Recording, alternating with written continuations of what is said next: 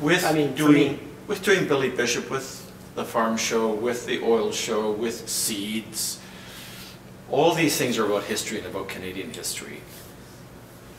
Do you think that the artist, the actor, the performers, the, the directors in Canada have a responsibility to that history, or that we tell it in a unique way, or that we tell history, or we put history on the palette, so to speak, in a way that needs to be there for the country? I wouldn't use the word history, because in my mind, history is a different occupation and a different pursuit than Right. theater. I mean, you can have historical stuff in it, but it's a different pursuit. History is something else. I'm, what I think, though, is the continuing conversation that artists have, and it's a continuing one, has to do with identity. Who we are, how we do it. And it's not branding, it's not that. And it's not, and it's never static. It's always, it's ongoing, and it's a rolling, ongoing conversation.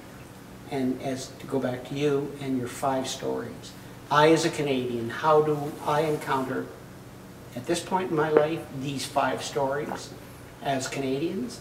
And, and, but that is never fixed.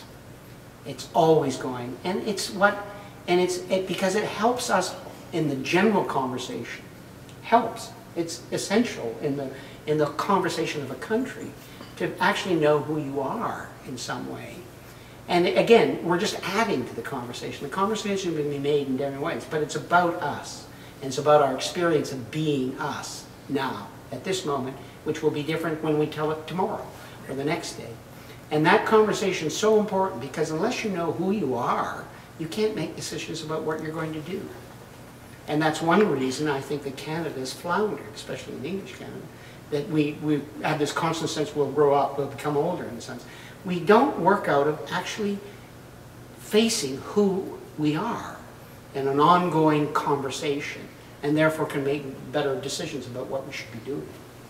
You mean we don't do those conversations in the theater or in television Well, or oh, film yeah, or well, in media yeah, or in we do them, newspapers? well, or- we do them, we do them different places. I mean, I mean, it has to happen in all those places. It has to happen in all our art forms, it should be happening in our politics. It should be happening in our histories and in our education system, uh, you know.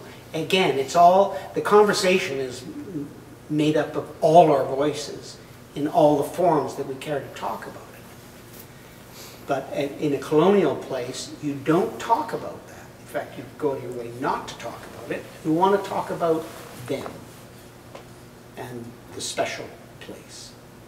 And again, I think, and again, so it's, and again, I mean, we could talk about that, we are talking about a Canadian reality by actually talking about how fucked up we are, in a sense, or colonial we are.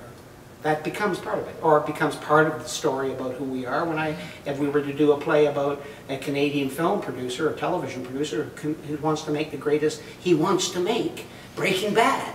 Why can't we make Breaking Bad in this country? You know, because that's a reality of, now, I have lots of reasons to say, we could, it won't be Breaking Bad.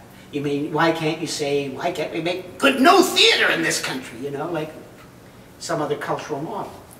I mean, I, I mean, you can make something Canadian that's wonderful and excellent in television. And if you want to take Breaking Bad as something wonderful and excellent in American television, and then you could have, this is our excellent one, this is your excellent one, but they're not going to be the same. Yeah. And nor should you think that that excellent one is the only excellent one there is to make. I mean, that's their business. Yeah.